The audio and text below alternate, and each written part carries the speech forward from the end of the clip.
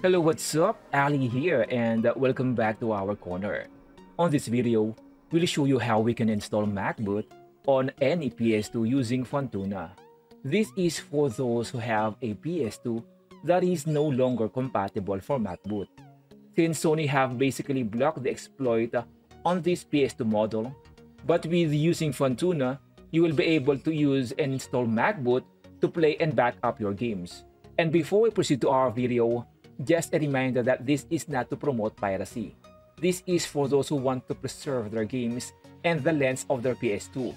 Since uh, especially on this day, once the lens becomes defective, it's very hard to get a good replacement. So this is actually a good method to really help preserve our games and our PS2 as well.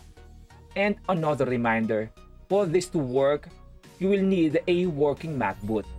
So unfortunately, you won't be able to do this if you're gonna start from scratch. You will need someone with a PS2 that has a working McBoot to help you set a Funtuna, or the easiest option is to simply get a memory card that has already been set up for Funtuna. But if you have a spare PS2 that has a working McBoot, or has someone who can help you with the process, then you can uh, go ahead and follow this video. Let us start with our requirements. We are going to need a memory card, a USB or external hard drive formatted with FAT32, and our external hard drive to load our games. Later on this video, we will also show you how we can load or play games using external hard drive, how to update our application, and use storage on the exFAT instead of FAT32. Now let us go ahead and download our application. Let us start with downloading the latest version. This version fixes the issue where when you change the configuration of your McBoot, you will also lose the configuration of your Funtuna. That is the reason why sometimes all of a sudden, your Funtuna no longer loads. So this is also a good opportunity to update your version so that you can avoid losing the configuration and losing your Funtuna accidentally. You can find the link on our description so just open the link and click on this part to download the file. Next, we are going to need to transfer this on our USB or external hard drive formatted with FAT32. Your hard drive or USB must be formatted to FAT32 for the PS2 to recognize the storage. To format a USB, simply right-click on the drive, click on Format, and choose FAT32 but you can only do this on USB or external hard drive that has a capacity of 32 gig and lower. If your hard drive has a 64 gig of capacity or higher, you will need a FAT32 formatter. You can find the link on our description, so just download and run the application. Here on the physical drive, choose the drive that you want to format. Make sure that you will be choosing the right drive because you don't want to format a wrong drive formatting a hard drive will definitely wipe out all of the data of the hard drive. Now after choosing the drive, just click on initialize, then check the quick format, then start. Now once we have our Funtuna in our storage, let us go ahead and insert this to our PS2. On our PS2, we have to load the U-Launcher. This is the part where we are going to need a working McBoot. Because to be able to get to this part, you will have to load the McBoot and load the U launcher. Now from here, just go to the file browser and navigate to mass. Make sure that your USB thumb drive is properly inserted and has the right format. Now let us go ahead and run the Funtuna.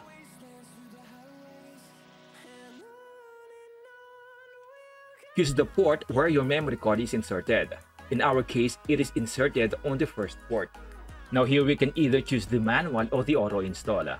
I would recommend choosing the manual installer. From here, you have the option which version to install. Simply check the icon that is highlighted. In our case, it is triangle, so let us go ahead and press triangle. This will install Funtuna on our memory card. Now all we have to do is simply wait.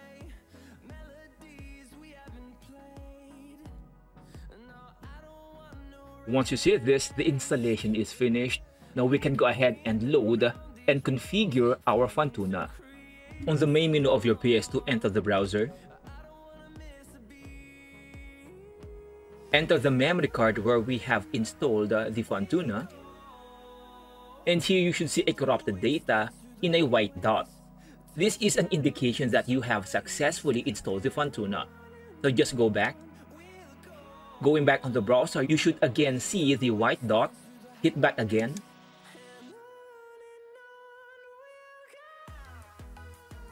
And this should load the Funtuna along with your McBoot.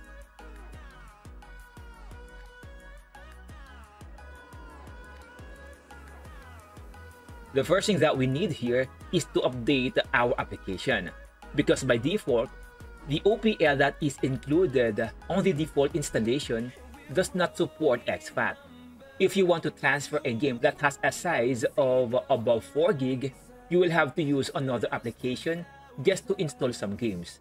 But if you're going to use a storage formatted with exFAT, you are not limited with the size of the game. So all you have to do is just simply transfer the game in the right directory. From here, let us go ahead and download the latest version of OPL first that supports exFAT. You will find the link on our description for the latest OPL version that supports exFAT. So just open the link and click on this part to download the file. Right-click on the downloaded folder, extract it in its folder, then open the folder, then transfer this on the root of our USB or external hard drive formatted with FAT32 after we update our OPL, our PS2 will now be able to use exFAT to load PS2 games. Now let us go ahead and prepare our external hard drive as well. So if we check the format of this hard drive, this one is already on exFAT. All you have to do is just transfer the backup of your own games either on the DVD folder or the CD folder. If the format of your game is in DVD, transfer it inside the DVD. If the format of your game is in CD, convert it to ISO and transfer it inside the CD folder. Let us go ahead and check the games inside our DVD folder. You will see here that we have some games above 4 gig, but we don't have to do anything or split the file. All we have to do is just simply transfer this in the right directory or folder. Now let us go ahead and insert our USB formatted with FAT32 to our PS2 and update our OPL first. Going back on our PS2, launch the ULaunch ELF. Go to File Browser. Make sure that our USB is uh, properly inserted. Go to Mass. Highlight our OPL and press R1. Then copy. Go back. Go to MC0 or where your memory card is inserted. Open the boot folder. Then paste you actually don't have uh, to paste your OPL on a specific folder. But doing it this way, at least you'll know where your applications are placed. Now press the boot.elf. This will relaunch your Funtuna. Go to Configure Funtuna. Select your Confirm button. And here we can configure how we want to use our Funtuna. If you're going to do this on your past Funtuna, if you change any configuration here, it will affect your Funtuna itself. If that happens, then you won't be able to load your Funtuna. But on this version, we will be able to change the configuration without affecting the configuration of the Funtuna itself. Now go to the Configure OSDSYS options, browse to item 3, open PS2 Loader, and on the path 1, browse our updated OPL. From here, we can go back it's up to you if you want to do more configuration, but if you're already satisfied, then go ahead and save configuration. Now, if you want to set up your Funtuna to automatically load a specific application, go to Configure E1 Launch Keys, and here on this part, you can set up your McBoot to load a specific application by holding a specific button. Now, let's say for example, we want to automatically load our updated OPL, and we want to place it on the X button. So press the X button, select your updated OPL, go back, then save. Now, if you want to automatically load your updated OPL, when your McBoot launches, all you have to do is press and hold the X button. Now, let us go ahead and show you how to do that. Let us load our Funtuna. Go to the browser. Memory card. Then hit back. press and hold the X button here. You see that it automatically loads our OPL. Now from here all we have to do is just simply insert our external hard drive loaded with our games. If your games are not showing here, go to the settings. And make sure on the BDM start mode, it is on automatic. Now press OK, then save changes.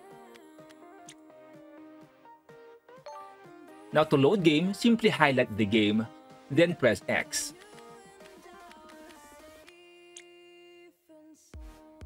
So that is how we configure our Funtuna and load our games in our hard drive formatted with exFAT. Now if you want to manually load your game, after you boot Funtuna, just select the Open PS2 loader.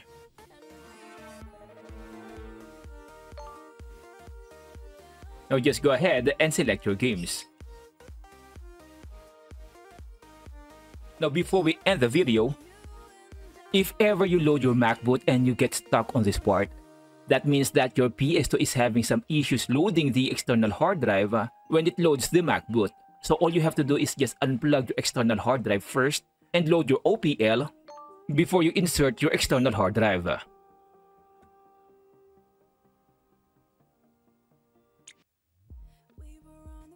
So this will be it for now. If you have any questions or suggestions, please go ahead and share them on our comment section and I will definitely address them. And again, my name is Ali. If you find this video helpful, please go ahead and like and subscribe. And I will definitely see you on our next video. Bye-bye.